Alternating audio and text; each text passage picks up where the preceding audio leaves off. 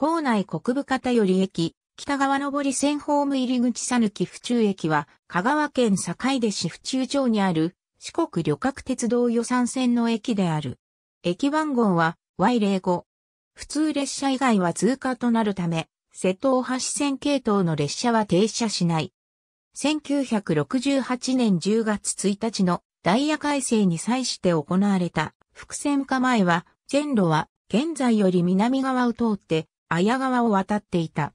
当駅付近の旧線跡は道路となっている。また、駅西側の綾川手前にある用水路にかかっていた橋が使われないまま現在も残っている。二面二線の相対式ホームを持つ地上駅。無人駅で駅舎はない。オレンジカード未対応の近距離切符用自動券売機が設置されている。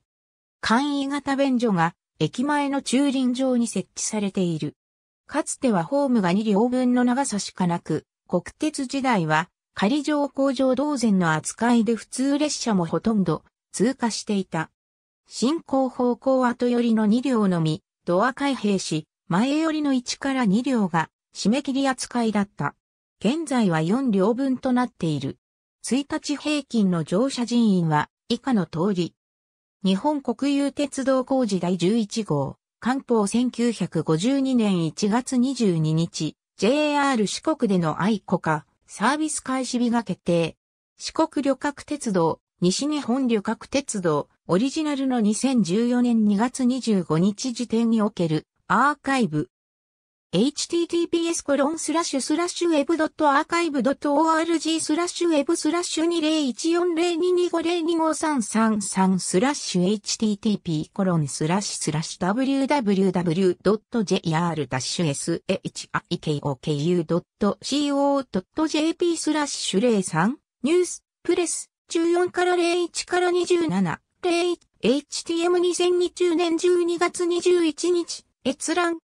1982年11月15日改正ダイヤによれば、当時当たり駅に停車する列車は、下りは高松発松山駅普通列車の7時45分発、上りは琴平発高松駅普通列車の17時30分発のみ。非電化時代の機動車に比べ、機動性の高い電車の導入により生まれた余裕自分を停車に振り向けた。